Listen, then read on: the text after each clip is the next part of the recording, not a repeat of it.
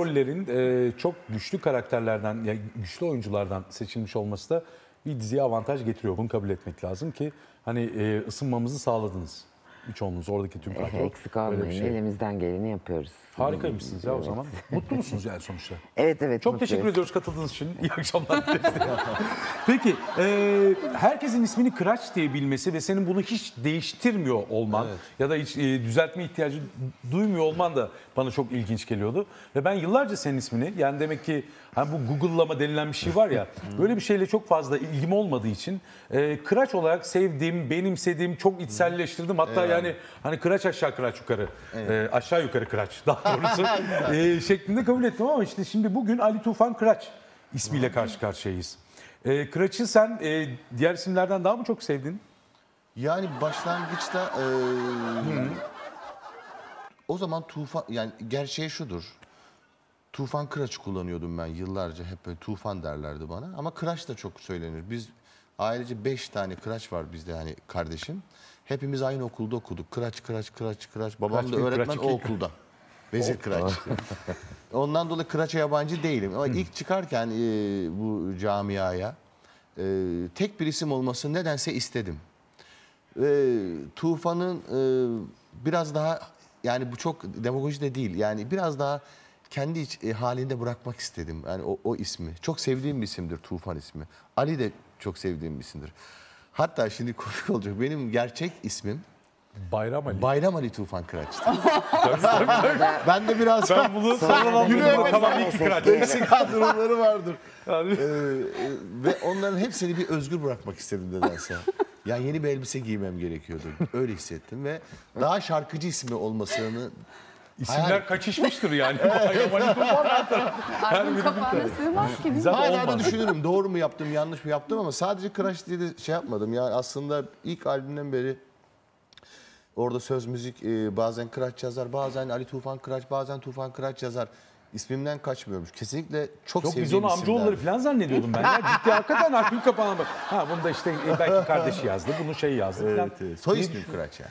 Güzel güzel ama çok iyi. Yani bir Twitter gel- e, bir tweet atmışlardı da e, Kıraç ve Kubat ne kadar şanssız. İşte Kıraç hani susuz e, anlamına geliyor. Kubat da biçimsiz anlamına geliyormuş. Oysa ki Öyle mi ya? evet e, ya ikisinin de soyadı ve yani bana göre çok da yakışıyor. Yani her ikisine de sizin var mı böyle uzun isimleriniz yoksa Hayır. Deniz Uğur deyip Deniz Uğur sadece. ha, kısa kesebiliriz yani kadar. böyle. Zeynep Hanım siz Gonzales. Zeynep González Erona. Çok güzelmiş ya. Felipe. Teo Lopez Martinez González. Avantajı var ama biliyor musunuz? Yani çok isimli olmanın avantajı var yani. Vardır ya mutlaka. Vallahi var. Yani çeşitli Ha bir de yerler. ben bir de ikizler burcuyum tabii. Yani işte bir canım sıkıldı mı o ötekisi falan böyle bir güzel oluyor ya. E, hakikaten. alıyorsunuz isimleri. Peki kendini nasıl tanımlıyorsun Kıraç? Yani deri mont, havalı bir kovboy şapkası, ee, geriye taranmış uzun saçlar, ee, uzun favoriler. Ne eklemek istersin buna? Vallahi iyi gidiyor. İyi gidiyor değil mi?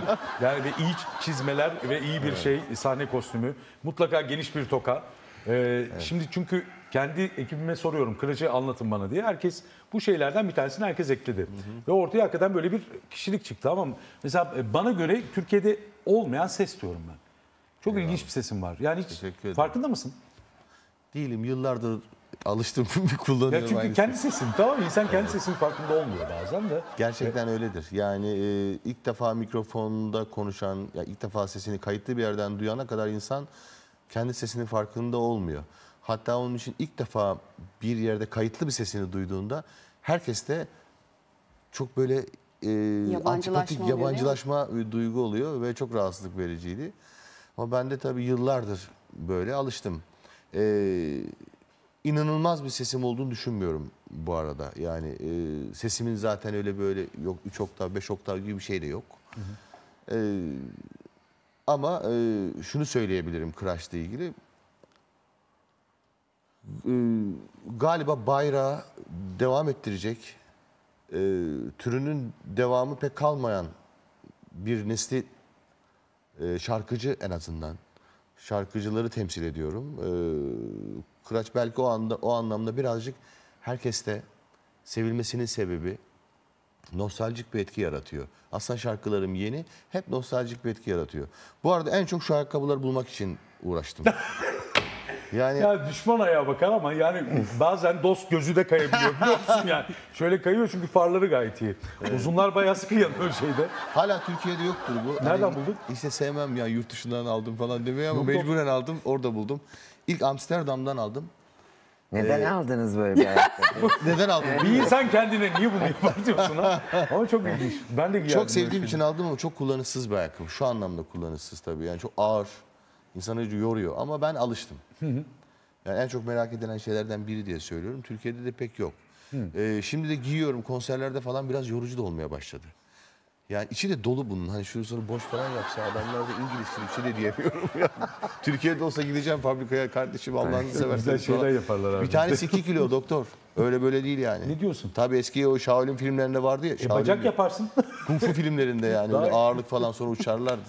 Küçük İyi zıplarım yani. Sahnedeki o uçan halim bundan kaynaklanıyor yani. tamam gayet güzel. Evet Twitter'dan göndeririz, e, gönderin diyoruz ve geliyor. Ee, Karanlık Şövalye son bölümde Joker karakteri kıraca gider. Böyle bir şey gelmiş ayakkabılardan sonra. Deniz Uğur e, sizi çok seviyorlar ve bunu galiba trend yapacaklar anladığım kadarıyla. Bunu söylüyorlar. Çömeziko'nun biricik Zeynep ablasına selamı var der misiniz? Hakan Eksen söylemiş.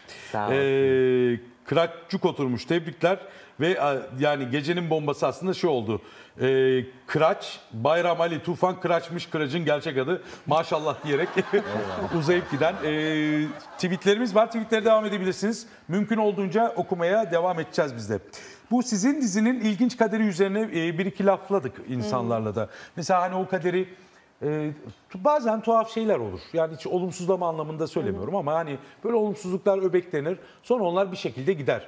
Bir şekilde gitmesi için de insanların toplu şekilde bir şeyler yapması gerekir. Yaptınız mı bir şey? Yani e, bu enteresan bir olay gerçekten çünkü hep aynı şeyi söylüyorum ama yani Yıldırım aynı yere iki kere düşmez. Evet. Bizim setimizde düştü. Sizde Yani böyle seriye bir şey bağladı olabilir mi? Yıldırım canım. Ama buradan da şunu anlamak gerekiyor. Belki buna yaradı. Yani bir faydamız dokundu belki insanlara. Ne kadar yaygın olduğunun farkında olmamız gerekiyordu. Bu kadar dar bir çevrede yani sadece bir küçük ekibin içinde.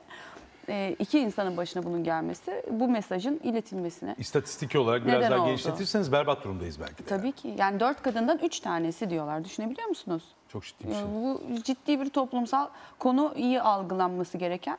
E, aksi takdirde üzücü sonuçları olur yani. Bu arada Bayda abla nasıl ya ben Gayet iyi. Gayet. Bayda iyi. Belli Evet. iyi. Ondan iyi haberler geliyor. Evet. Biz e, acayip seviyoruz. Galiba bu iş tamamen moralli hallolacak bir şey. E, moral ve bilinçle olacak. Şeyi çok merak ediyorum. İlk duyduğun anda kendine ne söyledin? İlk duyduğun anda çevrene ne söyledin? O da çok önemli. Kendimle ilgilenmedim ilk duyduğum anda e, işte dizi çekimlerini nasıl ayarlayacağız buna göre. Çünkü belli ki bir operasyon olacak ardından bir tedavi süreci olacak. Bunu nasıl programlayacağım? Programlama benim için çok önemli. Benim zamanım çok değerli. Üç tane çocuğum var. Evet, bir Allah sevgilim var. Onun dışında bir sinema filmim yaptık beraber ve vizyona giriyor. onda. Onun dışında televizyon dizimin çekimleri var. Yani benim hep dik Bir ayakta ve dakik hareket ediyor. etmem gerekiyor. Ve bunu nasıl yapacağım? Çünkü bana ihtiyacı olan insanlar var ve bütün bu görevleri nasıl yerine getireceğim? Kendimle pek ilgilenmedim. Bu da avantaj oluyor bazen. Kendini dinleyen biri olduğun zaman daha çok şey buluyorsun. Böyle yakınıp e, hani üzülecek şeyler bulabiliyorsun. Evet neden ben neden Ama ben? vaktin yoksa e, es geçiyorsun. E, Daha yüksek oluyor moralin. Diğerlerini düşünerek daha mutlu olabiliyorsun. Kesinlikle E, öyle. güzelmiş bu. Bu da bir yöntem. Gayet Evet. güzel.